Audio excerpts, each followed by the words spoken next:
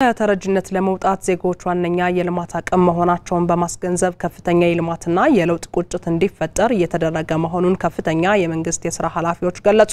የንግድና ቀጠናዊ ትስስር ሚኒስትር ገብረ መስቀል ጫላና የገንዘብ ሚኒስትር ዴኤታ ዶክተር ኢዮብ ተካልኝ በወቅታዊ ሀገራዊ የልማት ጉዳዮች ላይ ከኢዜአ ጋር ቆይታ አድርገዋል። በቆይታቸውም በሀገራዊ ለውጡ የተመዘገቡ የልማት ስኬቶችን፣ ተረጅነትና ህዝባዊ የምክክር መድረኮች፣ የገበያ ትስስር፣ የወጭ ንግድና ተያያዥ ጉዳዮችን በስፋት አንስተዋል። ዝርዝሩን ምስጋናው መልካም ያቀርበዋል።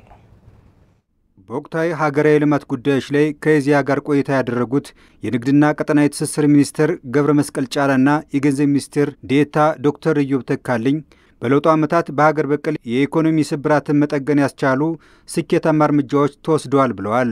ኢትዮጵያ ትከተለው የነበረውን ጠባብ የኢኮኖሚ እይታ ማዕቀፍ ለብዝሃ ኢኮኖሚ ግንባታ የተሰጠው ትኩረት ተጨባጭ ለውጥ ማምጣቱንም ገልጸዋል።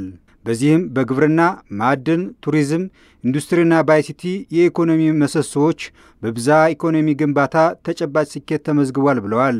በሀገር በቀል የኢኮኖሚ ማሻሻያ የኢትዮጵያ ምጣኔ ሀብት እድገት በውጤት የታጀበ ቀጣይነት ያለውና ዓለም አቀፍ እውቅናም የተሰጠው መሆኑን አንስተዋል። በኢኮኖሚው የመጣ ለውጥ ተስፋ የሚሰጥ በዓለም አቀፍ ደረጃም recognized የሆነ ማለት እውቅና የተሰጠው እድገቱም ከዓመት ወደ ዓመት የተሻሻለ የመጣበት ሁኔታ ስላለ ይሄ የለውጡ መንግስት በኢኮኖሚው ላይ ያደረገው ማሻሻያ ጠበብ ያለ የኢኮኖሚ ማዕቀፍ በመቀየር ኢኮኖሚው ዘርፈ ብዙ እንዲሆን መላውን ህብረተሰብ በዛ ረገድ እንዲንቀሳቀስ በመደረጉ የመጣ ለውጥ ነው። ስለዚህ በውጤት የታጀበና በቀጣይም ትላልቅ ስራዎችን መስራት እንደምንችል ማረጋገጫ የሰጠ መሆኑን ለመግለጽ ነው። የገንዘብ ሚኒስቴር ዴኤታው ዶክተር ኢዮብ ተካልኝ አገራዊ ለውጡ የኢትዮጵያ የፖለቲካ ማህበራዊና ኢኮኖሚያዊ ስብራቶችን የጠገነና ከመሰረቱ የቀየረ መሆኑንም ገልጸዋል። በኢኮኖሚ ረገድ ደግሞ ኢትዮጵያውያን ለዘመናት የቆየ የልማት መሻት አላቸው። በኢትዮጵያውያን ልብ ውስጥ የቆየ ግን ያልደረስንበት ውጭ ሀገር ትልቅ አቅም ነው ያላት ውሃ በደጃችን እያለፈ ሰፊ የሚታረስ መሬት እያለን ነው እጃችንን ዘርግተን ልመና የምንጠይቀው። ይህንን መቀየር ነው መቀየር መቻል አለብን።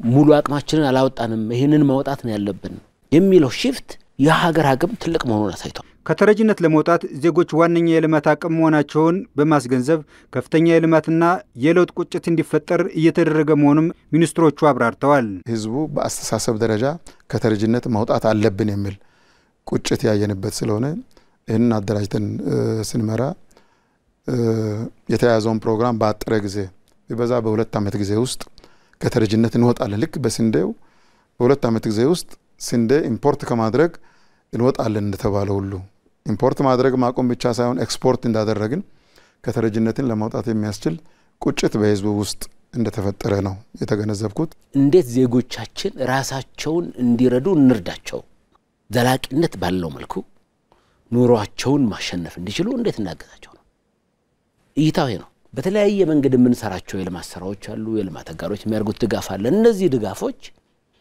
ዘላቂነት ባለው መልኩ ቤተሰቦች እና ግለሰቦች ከተረጅነት ተላቀው ራሳቸውን ችለው ለሌላ እንዲተርፉ ማድረግ አልቻሉም። ሰው ይህንን ከእሳቤው ጀምሮ መታገል አለብን የሚል የሚል አቅጣጫ ነው የተያዘው። የኑሮ ውድነትን ለመቀነስ የግብይት ሰንሰለት መሠረተ ልማትና የሕግ ማዕቀፎች በማዘጋጀት የአምራችና ሸማቾች የጋራ ተጠቃሚነት የሚያረጋግጥ ስርዓት እየተዘረጋ መሆኑን ከፍተኛ ስራ ኃላፊዎች አስረድተዋል። መንግስት ባስቀመጠው አቅጣጫ እነዚህ በተለይ የጅምላ ንግድ እንደዚሁም ደግሞ የ export import ንግድ ለውድድር ክፍት እንዲሆኑ የተደረገ ያለበት ሁኔታ አለ። ይሄ የሀገር ውስጥ ገበያንም ኤክስፖርቱንም በከፍተኛ ደረጃ የሚያነቃቃ ውድድርንም የሚያሰፍን ከመሆኑ ጋር ተያይዞ የሀገሪቱን ኢኮኖሚም ከማሳደግ አንጻር ትልቅ ድርሻ ያለው ነው። ስለዚህ ምርትና ምርታማነትን በአንድ በኩል ስንጨምር የግብይት ስርዓቱ ደግሞ ጤናማና ሁሉንም በየደረጃው ያለውን በተለይ በእሴት ውስጥ ያሉ አካላትን ተጠቃሚ የሚያደርግ ስርዓት ለመትከል ሰፊ ስራ እየተሰራ ነው። እነዚህ ወጣቶች አዳዲስ ሀሳብ እየፈጠሩ በዓለም መወዳደር እንዲችሉ አመቺ ከባቢ ሁኔታ መፍጠር የመንግስት ግዴታ ነው።